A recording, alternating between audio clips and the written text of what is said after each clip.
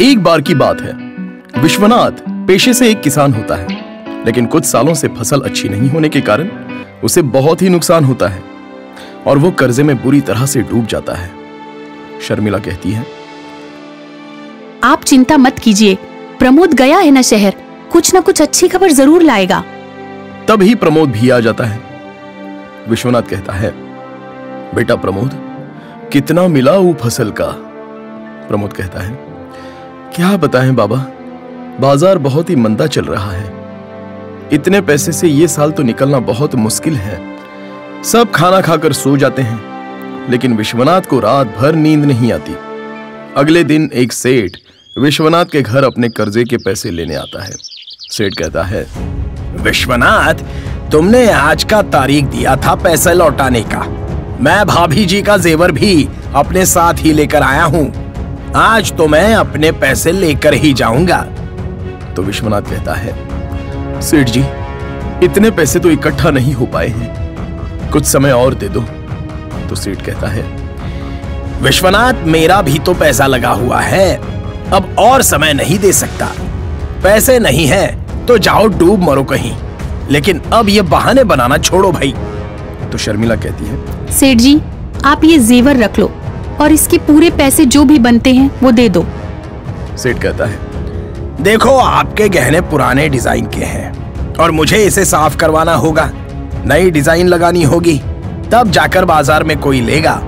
मैं इसके ज़्यादा से ज़्यादा दो हज़ार और दे सकता हूँ। शर्मिला कहती है ठीक है। शाम के समय विश्वनाथ जंगल की तरफ़ लकड़ियाँ काटने चला जाता है। तभी अचानक विश्वनाथ पर कुछ जंगली जानवर हमला बोल देते हैं। और अचानक एक लड़की आती है विश्वनाथ की जान बचाती है और घायल विश्वनाथ को उनके घर तक सही सलामत छोड़ देती है। अपने पति को घायल अवस्था में देख शर्मिला रोने लगती है। तभी गाँव का एक आदमी कहता है इस लड़की ने तो बड़ी बहादुरी से उन जंगली जानवरों का सामना करके विश्वनाथ की जान बचाई है। शर्मिला उस लड़की को देखती है और पूछती है क्या नाम है बेटी तुम्हारा और तुम किस गाँव से हो? लड़की कहती है मेरा मेरा वो वो मेरा नाम नगमा है। मेरा कोई नहीं है इस दुनिया में। इस गाँव से उस गाँव घूमती रहती हूँ। शर्मिला कहती है। तुमने मेरा सुहाग बचाया है मगर मेरे पास तुमको देने के लिए कुछ नहीं है। लड़की कहती है। ई नहीं माँ जी मुझे कुछ नहीं चाहिए। मैं चलती हूँ। और नगमा जाने लगती है। तभी विश्वनाथ कहता है रुको अब तुम अकेली नहीं हो।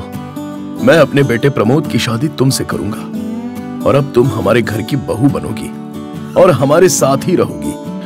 कुछ ही दिनों में नगमा और प्रमोद की शादी हो जाती है। शादी के दूसरे दिन ही नगमा खेत जाकर कुछ सब्ज़ियाँ लगाती है। प्रमोद कहता है अरे तुम ये सब्ज़ियाँ यहाँ क्यों लगा रही हो? ये सख्त बंजर ज़मीन है। यहाँ तो कोई पौधा नहीं उगता। अब से यहाँ अच्छी फ़सल उगेगी। आप देखते जाइए। प्रमोद कहता है लेकिन ये सब्ज़ियाँ तो यहाँ पहले कभी नहीं लगाई गई। आप बस देखते जाइए इस नागिन मेरा मतलब है नगमा के हाथों का कमाल। थोड़े ही दिनों बाद वो बंजर खेत पूरी तरह से हरे भरे फ़सलों से लहलहाने लगता है। ये अजूबा चमत्कार देखकर सारा गाँव हैरान रह जाता है। और अब रोज़ाना प्रमोद सब्ज़ियाँ लेकर बाज़ार जाता और सारी सब्ज़ियाँ बिक जाती थी। धीरे धीरे घर की स्थिति भी सुधरने लगती है। और दो साल देखते ही देखते पार हो जाते हैं। तब विश्वनाथ का घर भी बड़ा बन जाता है। पूरा परिवार अच्छे से रहने लगता है। ये चमत्कार देखकर अब सारा गाँव हैरान रह जाता है और अब पूरे गाँव वाले अपने खेत में पहला बीज नगमा के हाथों से ही लगवाते, जिससे पूरे गाँव की बंजर जमीनों में भी खेती हरी भरी होने लगे और गाँव वालों की भी तरक्की होने लगती है। गाँव वाले नगमा को बहुत मानते थे। एक दिन एक साधु महाराज उस गाँव में आते हैं। सारे गाँव वाले उनसे आशीर्वाद लेने जाते हैं। मुरारी लाल कहता है, पहले तो इतने बुरे दिन चल रहे थे। विश्वनाथ की बहू जब से आई है, पूरे गाँव की स्थिति सुधर गई है। ये बात सुनकर उस साधु को हैरानी और उस लड़की की चमत्कारी शक्तियों पर शक होता है। साधु महाराज कहते हैं, मुझे उस लड़की से मिलना है। सारे गाँव वाले साधु महाराज के साथ विश्वनाथ के घर पहुँचते हैं। गाँव वाले कहते हैं विश्वनाथ जी, अरे ओ विश्वनाथ जी, देखिए आपके द्वार पर कौन आया है? साधु महाराज खुद चलकर आए हैं। विश्वनाथ कहता है, शर्मिला, नगमा, तनिक कुर्सी तो लगाओ, बाहर साधु महाराज आए हैं। नगमा ये सुनकर घबरा जाती है। विश्वनाथ के बहुत बुलाने पर नगमा साधु महाराज के पास जाती है। गाँव वाले कहते हैं, साधु महाराज, यही है नगमा। साधु महाराज कहते हैं, आओ बेटी मुझे अपना चमत्कारी हाथ तो दिखाओ, जिसके गुणगान सारा गाँव कर रहा है। नगमा साधु महाराज को अपना हाथ दिखाती है। साधु महाराज, नगमा के हथेली पर एक ताबीज रखकर ज़ोर ज़ोर से मंत्र बोलने लगते हैं, जिससे नगमा छटपटाने लगती है। नगमा धीरे धीरे अपना रूप बदलने लगती है और एक नागिन बन जाती है। साधु महाराज कहते हैं, मैं इसकी चर्चा सुनते ही समझ गया था कि ये कोई साधारण मानव नहीं हो सकती। ये सारे गाँव को धोखा दे रही थी। साधु महाराज नगमा को एक झोले में बंद करने लगते हैं, तभी प्रमोद कहता है, छोड़ो मेरी नगमा को, इसने मुझे कोई धोखा नहीं दिया है। इसने शादी के अगले दिन ही मुझे सारी सच्चाई बता दी थी। आज तक इसके यहाँ रहने से सबका भला ही हुआ है। अगर ये नागिन है भी तो मुझे कोई दिक्कत नहीं है। लेकिन वो ढोंगी साधु नगमा की इच्छाधारी मणि हासिल करना चाहता था। साधु महाराज कहता है, अगर किसी ने मुझे रोकने की कोशिश की तो मैं उसकी जान ले लूँगा। साधु महाराज वहाँ से नागिन का पूछ पकड़कर जाने लगते हैं। प्रमोद उसे रोकने की पूरी कोशिश करता है। साधु महाराज उसकी तरफ़ एक छुरी फेंकते हैं। नगमा इंसानी रूप में आकर प्रमोद के आगे खड़ी हो जाती है और वो छुरी उसको लग जाती है और नगमा उस साधु महाराज को डस लेती है। मरते हुए नगमा प्रमोद को नागमणि का पता बताती है और नगमा का शरीर वहाँ से अचानक गायब हो जाता है। उसके बाद सारा गाँव नगमा की नागमणि को शिव मंदिर में धारण कर उसकी पूजा करते हैं और उस मणि के चमत्कार से वो गाँव हमेशा खुशहाल रहने लगता है।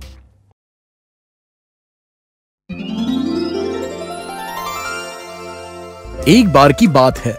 अमित सिंह एक पुलिस ऑफिसर था, जो शहर के एक थाने में पोस्टेड था। लेकिन वहाँ के कुछ अधिकारियों ने उसकी पोस्टिंग देवपुरी गाँव के पारसगढ़ थाने में कर दी थी। जिस बात से अमित थोड़ा चिंता में डूब गया था वो घर आया तो उसे परेशान देखकर उसकी पत्नी सुधा बोली क्या बात है जी आप इतने परेशान क्यों हैं? हमें कल सुबह ही पारसगढ़ निकलना है मेरी पोस्टिंग वहाँ कर दी गई है अच्छा तो ये बात है तुम नहीं जानती ये पारसगढ़ बड़ी ही विचित्र जगह है वहाँ आए दिन नजीबो गरीब घटनाएँ होती रहती हैं। तो आप इस बात से परेशान हैं? नहीं मैं सोच रहा हूँ कि वहाँ हमारी मुनिया की पढ़ाई का क्या होगा। वहाँ पढ़ाई और रहन सहन की कोई खास सुविधाएँ भी नहीं है। अगली सुबह ही अमित अपने परिवार के संग पारसगढ़ थाने के लिए निकल गया। कुछ देर बाद वो उस गाँव में पहुँचा। अमित को एक छोटा सा सरकारी कमरा दिया गया था। कुछ देर आराम करने के बाद अमित थाने के लिए निकल गया। थाने में उसने देखा कि सब कुछ कबाड़ खाने जैसा है, जैसे उस थाने में कोई कभी आता ही ना हो। बस एक बूढ़ा हवलदार और दो तीन कैदी थे। अमित ने सख्त रवैया दिखाते हुए फ़ौरन थाने की हालात को साफ़ सुथरा करने के लिए कहा और अपनी कुर्सी पर जाकर बैठ गया। वो बैठा, कुछ फ़ाइल देख ही रहा था कि तभी गाँव का एक पोस्टमैन आया और अमित को एक लिफाफा दिया और वहाँ से चला गया। अमित ने लिफाफा खोला तो वो हैरान रह गया। उसमें किसी औरत की कटी हुई दो उंगलियाँ थी और उंगली में एक अंगूठी ये देखकर अमित के पसीने छूट गए। उसने पोस्टमैन को रोकने की कोशिश की, लेकिन वो तो जा चुका था। अमित इस सच का पता लगाने के बारे में सोचने लगा। तभी हवलदार एक चोर को पकड़ कर लाया। हवलदार उसे लॉकअप में डालने लगा तो चोर ज़ोर ज़ोर से कहने लगा, नहीं हुजूर, इस वाले लॉकअप में नहीं, इसमें कजरी की रूह कैद है। मुझे काले पानी की सजा मंजूर है, लेकिन इस लॉकअप में रहना नहीं है मुझे। मुझ पर रहम करो। चोर की बात सुनकर अमित हैरान रह गया। चोर को दूसरे लॉकअप में डाल दिया गया। थोड़ी देर बाद अमित के फ़ोन की घंटी बजी और अमित ने फ़ोन उठाया और कहा हेलो कौन? तो दूसरी तरफ़ से बस एक औरत के चीखने की और सिसक सिसक कर रोने की आवाज़ आ रही थी। अब बार बार घंटी बजती रही और अमित फ़ोन उठाता रहा और उसे वही आवाज़ें सुनाई देने लगी। अमित अब पूरी तरह से परेशान हो चुका था। उसे कुछ समझ में नहीं आ रहा था कि आखिर ये सब हो क्या रहा है। देर रात वो अपने घर पर पहुँचा और घर पहुँचते ही थोड़ी देर बाद फिर से उसके घर की फ़ोन की घंटी बजी। उसने फ़ोन उठाया तो फिर उसी औरत के रोने की आवाज़ आ रही थी, जो कुछ बोल नहीं रही थी। इस बात से घबराया हुआ अमित रात भर सो नहीं पाया। और जब अगली सुबह हवलदार अमित के घर आया तो उसने देखा कि वहाँ ताला लगा हुआ है। इस बात से वो बहुत खुश हुआ कि साहब तो दो दिन में ही चले गए। उसने ये बात सबको बताई और थाने पहुँचा। अब थाने में सरपंच, हवलदार, मुर्दे गाड़ने वाला और कजरी सभी एक साथ बैठकर इस बात का जश्न मना रहे थे। देखा हमारी आवाज़ का जादू? हुजूर बाकियों की तरह इस दरोगा को भी हमने एक दिन में भगा दिया। अब हम सब अपना अपना धंधा इस गाँव में आसानी से कर सकते हैं। यहाँ अब से कोई भी पुलिस वाला आने की ज़रूरत नहीं करेगा। हाँ ये बात तो सही कही तुमने, कजरी। तभी हवलदार की बोलती बंद हो गई, क्योंकि पीछे इंस्पेक्टर अमित अपनी वर्दी में खड़ा ये सारी बातें सुन रहा था। अमित को देखकर सारे लोग हैरान रह गए। लेकिन ये सब होनहार अमित की चाल थी इन चारों की सच्चाई सामने लाने के लिए, जिन्होंने गाँव में झूठी अफवाहों से दहशत बनाकर रखी थी। इसी के पीछे वो अपना गैर कानूनी धंधा करते आ रहे थे। अमित ने चारों को हवालात में बंद कर दिया और सभी को अच्छे से सबक सिखाया। और अब भोले भाले लोगों का वो गाँव उन चारों के भय से मुक्त हो चुका था। अमित ने गाँव का विकास करने के लिए अपने अधिकारियों से बात की। और इस बात के लिए अमित को पुरस्कृत भी किया गया। और इस बात से अमित और उसका पूरा परिवार बहुत ही खुश था। तो दोस्तों, ऐसी ही मज़ेदार कहानियाँ देखने के लिए हमारे चैनल को सब्सक्राइब करना मत भूलिए।